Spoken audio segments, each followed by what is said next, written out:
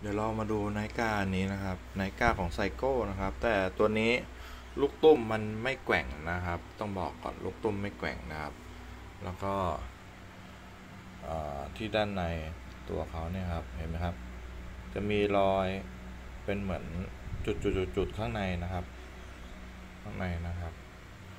แต่ถ้าไม่ได้ซีเรียสก็ก็ยังสวยนะครับ